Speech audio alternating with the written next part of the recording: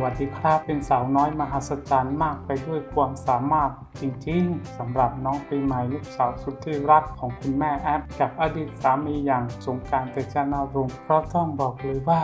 ไม่ว่าจะไปกิจกรรมไหนๆน้องปีใหม่ก็ชื่นชอบคุณพ่อคุณแม่ ก็สนับสนุนเต็มที่แถมตอนนี้น้องปีใหม่ก็เริ่มโตเป็นสาวแล้ว เพราะว่าเพิ่งจะเรียนจบอนุบาล 3 ไปมากๆ เริ่มใจแววสวยได้แม่มาแบบเต็มๆเลยทีเดียวล่าสุดก็มีภาพน่ารักน่ารักของน้องปีใหม่ ตามคุณแม่แอมไปอัดรายการสามแซบคอยนั่งให้กำลังใจช่วยเหลืองานเล็กๆ น้อยๆ ได้ตลอดเวลาเรียกได้ว่าเห็นตัวเล็กแบบนี้ก็เก่งฉลาดไม่เบา แถมยังมีฝีไม้ลายมืออีก สมที่เป็นที่สุดของความภาคภูมิใจของคุณแม่คุณพ่อเลยจริงๆ